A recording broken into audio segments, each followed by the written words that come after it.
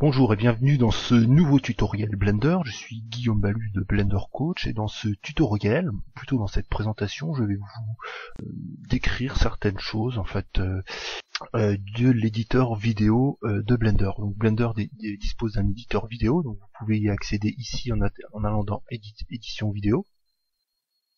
Ici, vous cliquez ici, hein. lorsque vous êtes la scène défaut, donc c'est default, hein. et donc vous allez dans vidéo editing.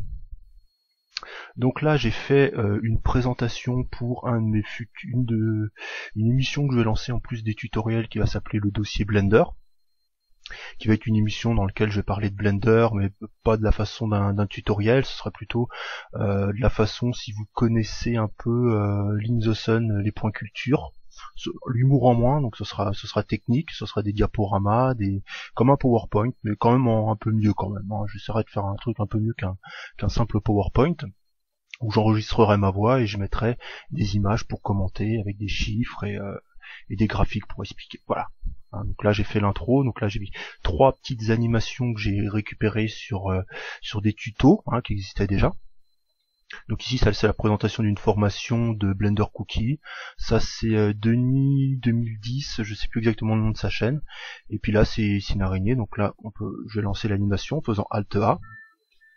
Vous voyez, il y a une petite musique, vous devez pas entendre la musique par contre.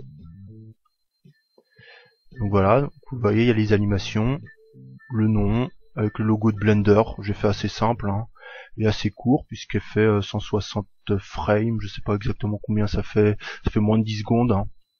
Faut pas faire une intro trop longue, mais bon c'était juste histoire d'avoir un petit quelque chose pour, pour commencer. Donc euh, bah, très simplement je vais vous montrer bah, comment comment j'ai fait. Vous voyez qu'il y a quand même pas mal de choses. Donc ici, ici, tout ce qui est en bleu, c'est les, les vidéos. En violet, c'est l'image. Donc l'image que j'ai importée, euh, c'était une image de type JPEG. Le texte, en fait, il s'agit d'une scène 3D.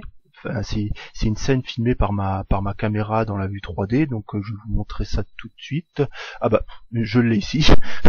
Même pas besoin de changer. Là, je voulais changer de fenêtre et puis passer en, en 3D, mais bon, je l'ai déjà ici. Donc, euh, vous voyez ici, j'ai ma caméra et puis mon texte. Hein. Vous voyez, hop, si je me déplace, hein, voilà, j'ai ma caméra juste sur le juste sur le texte, hein, tout simplement. Et donc, bah, euh, j'ai importé ma scène, ma scène qui se trouve ici. Euh, ma scène qui est de la même couleur que les transforms. Donc les transforms, c'est une action qu'on impose sur les vidéos pour les réduire, hein, tout simplement. J'ai utilisé cette fonction de transform pour euh, réduire la vidéo. Donc là voilà j'ai réduit le scale. Donc j'ai choisi un scale uniforme. Hein. Si, si, je décoche uniforme, vous voyez qu'on a euh, une valeur en X et une valeur en Y euh, au niveau du scale. Je, je, je recoche uniforme. Ici j'ai une valeur pour un redimensionnement uniforme. Et donc elle est de 0,28, donc la, la, vidéo ne représente la taille que de 30% de la vidéo originale. Voilà. Hein, tout simplement. Donc j'ai gardé un fond transparent, comme vous voyez le damier ça correspond à un fond transparent. Donc euh, bah, voilà, donc euh, pour sinon pour naviguer dans la dans la dans la petite fenêtre du dessous, alors euh, on utilise la souris. Donc ici vous voyez quand j'agrandis ça agrandit tout. On utilise CTRL plus on clique sur la molette de la souris et lorsqu'on va de haut en bas, vous voyez ça ça compresse ou ça agrandit. Voilà. Donc là, hop, par contre tout est passé en bas, donc on va réduire. J'aime bien, j'aime bien réduire parce que bah, surtout que dans mon projet j'aurai vraiment des groupes, des beaucoup beaucoup de montage, hein, et puis vous aussi si vous faites du montage, euh, lorsqu'on commence à faire des montages à peu près sérieux, euh, on a vraiment énormément de choses, donc euh, faut pas hésiter à réduire. Et puis lorsqu'on fait contrôle, qu'on clique sur la molette de la souris et qu'on va sur le côté, bah, ça agrandit ou ça réduit tout simplement. Donc là on a les deux paramètres. Hein. Voilà. C'est vraiment vraiment très intuitif hein, à ce niveau-là. Euh. Là pareil, hein, molette de la souris. Donc ici, là je suis pas en, qualité optimale. Hein. Vous voyez ici je suis qu'à 25% de la résolution que j'ai mis ici, qui est une résolution euh, Full HD. Hein, qu'on a ici bah, de toute façon c'est la, la, résolution de base euh, de, Blender ici je suis qu'à 25% donc euh, un quart de bon je, je, suis pas très bon en calcul mental mais voilà un quart de, ces deux valeurs si je la mets à 100% vous voyez s'agrandit. Voilà. Et donc là, on a quelque chose de plus précis. Alors pourquoi je suis passé à 25% bah, Pour une raison toute simple, c'est que euh, bah, mon PC, pour avoir quelque chose de fluide qui correspondra, qui correspond à peu près au résultat final, je, je, parle en termes de synchronisation entre le son et l'image, et pour avoir une image assez fluide, je passe à 25% et ça me permet d'avoir déjà un aperçu. Donc euh, voilà, donc pour euh, pour l'ajout en fait de tout ça, bah, c'est très simple. Hein. Vous, allez sur Add, Movie pour ajouter de la de des vidéos, Images pour ajouter des images et Son pour ajouter des sons. voilà, tout simplement. Et Scène pour ajouter des scènes. Bon là j'ai qu'une scène, mais vous pouvez avoir plusieurs chaînes. Hein. Par, plusieurs scènes, pardon. Euh, par exemple, si vous voulez ajouter plusieurs types de textes, bah, vous créez plusieurs scènes avec des textes différents. Par exemple, ici, cette scène-là, je peux l'appeler le dossier. Voilà, donc là ce sera la, scène avec le, texte, le dossier, mais après on peut changer, on peut euh, créer une autre chaîne avec un autre texte ou avec euh, des, objets 3D. Hein. J'aurais pu aussi bien mettre un cube, j'aurais pu mettre un singe, c'est ça, c'est ça l'avantage d'utiliser l'éditeur de, Blender, puisque bah on peut utiliser les scènes, on peut incorporer des scènes directement dans notre édition et utiliser également le compositing et faire bah, toute, euh, toutes les modifications d'éclairage, de colorisation, de contraste, de luminosité qu'on peut faire autrement avec Blender. Donc euh, ah oui, très important quand vous importez vos vidéos, vérifiez bien le nombre d'images par seconde, parce que euh, sinon vous aurez un décalage entre le son et l'image. D'ailleurs, vous le verrez, euh, le, son. Bon, moi ici, j'ai enlevé le son de toutes mes vidéos et j'ai mis le son de mon MP3, d'ailleurs que que je peux réduire puisque là il est à sa taille totale, mais la vidéo est restreinte en fait. Mon mon mon intro ne fait que 160 images, donc elle s'arrête ici. Donc le son bah, s'arrêtera aussi ici. Et puis d'ailleurs, euh, oui, mes images, toutes mes images, mes logos, je les ai mis beaucoup plus grands. Là, toute cette partie-là ne sert à rien. Hein. Je, pourrais la, réduire, la couper. Donc, très belle transition. Pour couper, euh, bah, on clique sur euh, ici par exemple.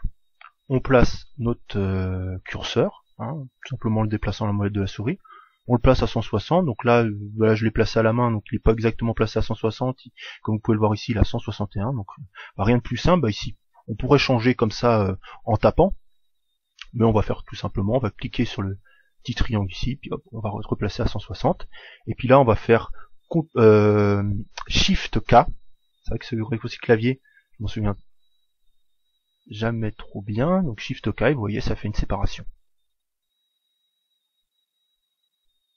et euh, bah, on clique sur la deuxième partie et on la supprime. Supr ou X? X, erase strip, donc supprimer le, strip, supprimer la, ligne, et on la supprime.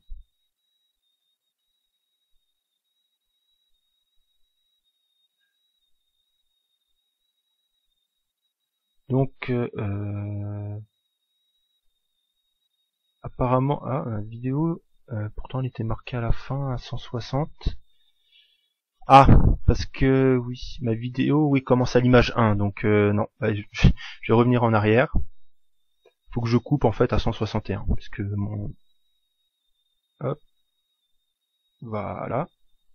Donc là, je vais prendre 161. Voilà. Et là, je vais couper à 161. Shift K. Je suis désolé hein, pour les raccourcis clavier. Euh, dans, j'ai pas réussi à trouver comment afficher les raccourcis clavier euh, lorsqu'on est euh, dans la dans la dans la fenêtre en fait d'édition de séquence. Je pourrais l'afficher ici. Hein. Donc il y a, un add-on qui permet d'afficher tout ce qu'on tape à la souris et puis les, raccourcis clavier, mais euh, je je peux je peux pas l'avoir en fait dans l'éditeur dans l'éditeur de vidéo, dans le vidéo sequencer. Donc voilà, et puis je supprime avec X et right strip. Voilà.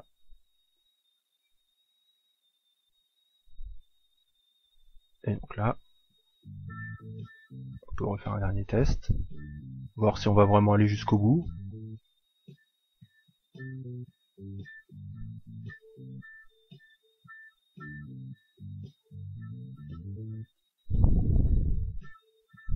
Cette vidéo là, normalement, qui... Voilà, parfait. Elle va bien jusqu'au bout.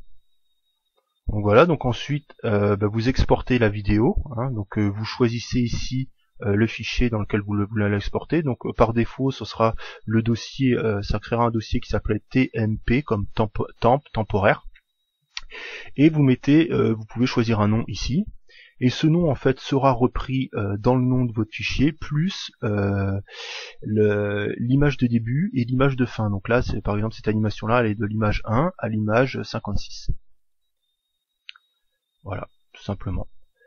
Euh, donc autrement, si vous rendez du son au niveau de votre euh, de votre tutoriel, enfin au niveau de, votre vidéo, euh, faut pas oublier d'ici en output de, de bien choisir déjà. Euh, moi je prends Xvid puisque c'est un mode de compression qui est assez intéressant.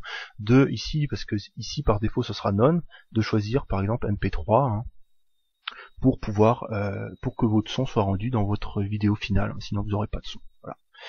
Donc voilà, c'est tout pour euh, cette présentation. Je referai une nouvelle présentation, enfin un nouveau tutoriel sur l'éditeur euh, vidéo, parce que j'ai encore beaucoup à en dire. Hein. J'ai appris beaucoup sur l'éditeur vidéo ces derniers temps, en regardant beaucoup de tutoriels anglophones. Donc euh, j'essaierai pas à vous faire part de ce que j'aurai appris tout simplement. Donc n'hésitez pas à laisser un commentaire comme d'habitude, et puis bah à très bientôt pour un prochain tutoriel.